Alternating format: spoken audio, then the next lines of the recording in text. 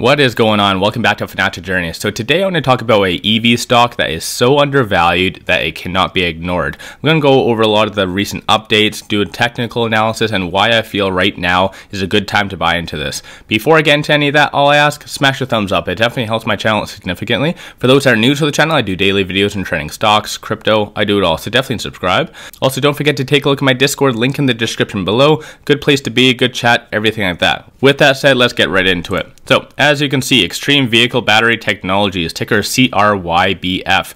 They are on over the counter stock. They are also on the TSX Venture under ACDC. So, a pretty good ticker as well. They are currently up 13.4%.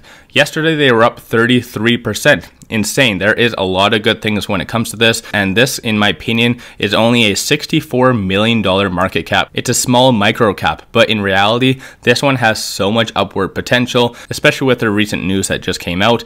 As far as volume, currently just first thing about half an hour in the morning, 1.6 million shares being traded, whereas the average is 434 for the day. So again, there's a lot of big things happening with this company, and it is because of this. They made a prototype, a first EV prototype. And when I covered them in February, it was more of a spec play saying that they were working on this, but now they actually did it first EV prototype. So a lot of good things, and you can see the tickers as well right here, ACDC, CRYBF as well take a look at this. There is a lot of good details on this, and especially take a look at my video in February as well about this.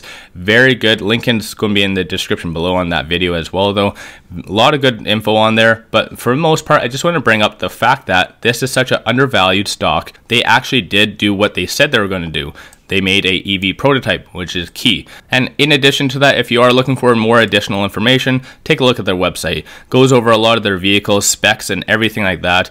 And in reality, there is a lot of good things when it comes to this company. And why am I bringing this up? Why do I feel that it's undervalued? Well, A, they actually are doing what they said.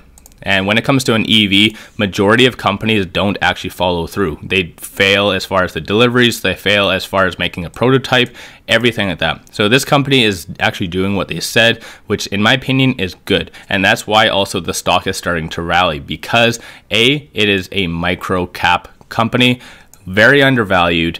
And in reality, when it comes down to this, there's a lot more upside potential.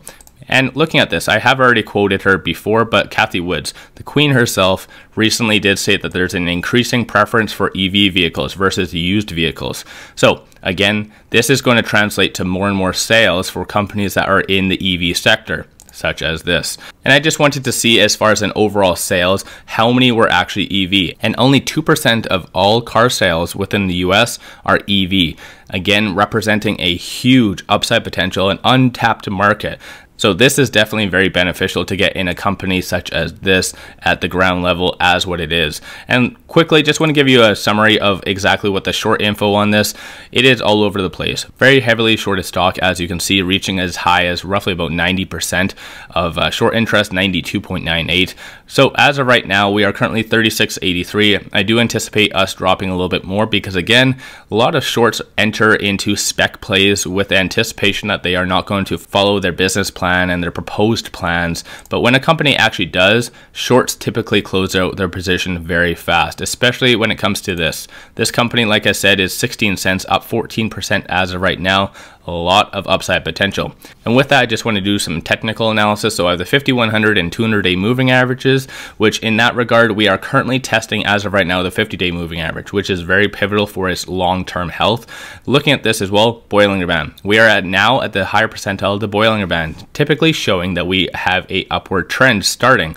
Looking at this, RSI stochastic momentum, and looking at stochastic, you can see there's a little bit of a deviation. Black line above the red showing there's a lot more upward potential and a trend is forming an upward trend, I should say. Momentum, you can see this is absolutely insane. The amount of volume that did get in, number of buyers from the momentum indicator is just through the roof. So again, everyone and their dog wants to get into this stock. And looking at RSI right now, fairly neutral at 57, but prior to that, it was at 19. Huge buying opportunity at those stages. So overall, just wanted to give you a quick summary. In my opinion, this is a very good EV to get in, especially right now at its ground level. With that said, let me know your thoughts in the comments below. If you haven't already, smash a thumbs up and subscribe. I greatly appreciate that. If you do like my channel and support the growth, take a look at my memberships, link in the description below, or just hit the join button at the bottom screen. Greatly appreciate that. With all this said, I appreciate you guys watching.